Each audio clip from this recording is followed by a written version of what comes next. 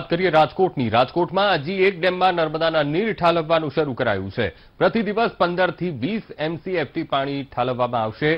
Tramba પાસેનો check dam overflow થયા બાદ આજી એકમાં નવા નીર આવશે.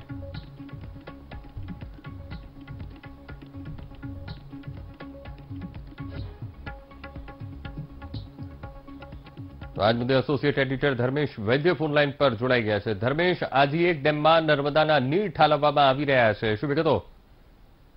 રાજકોટમાં એમ્સ સહિત મહત્વના જે કેન્દ્ર સરકાર કે રાજ્ય સરકારના પ્રોજેક્ટ આવ્યા છે, પણ પાણી બાબતે રાજકોટ આત્મનિર્ભર નથી અને નર્મદાના નીર ઉપર જ આધાર રાખવો પડે છે. એટલે ભર ચોમાસે નર્મદાના નીર માંગવા પડ્યા છે અને સરકારે મંજૂર પણ કર્યા છે ને આજે રાજકોટ શહેર અને આસપાસમાં જે લોકોને પાણી પીવાના પાણી માટે સૌની યોજના મારફત આજે એકમાં નર્મદા નીર ઠાલવવાનું શરૂ થયું છે. સુરેન્દ્રનગરથી આ જે નર્મદાની પાઇપલાઇન મારફત સૌની યોજના મારફત આ નર્મદા નીર આજે રાજકોટ આજે એક ડેમમાં પહોંચશે. રોજ પંદરથી વીસ એમસીએફટી પાણી ઠલવાશે. ત્રંબાના ચેકડેમ ઓવરફ્લો થયા બાદ આજે ડેમમાં એક ડેમમાં નર્મદાના નીર આવશે.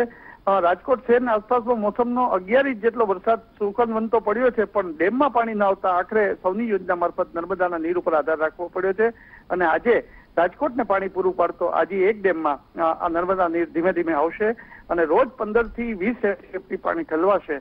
આમ ભર ચોમાસે જેને કહી શકાય કે નર્મદા નીર રાજકોટ માટે આજે પહોંચશે જી અંકુશ જી, બિલકુલ ધર્મેશ, સમગ્ર માહિતી સાથે જોડાવા બદલ આપનો આભાર.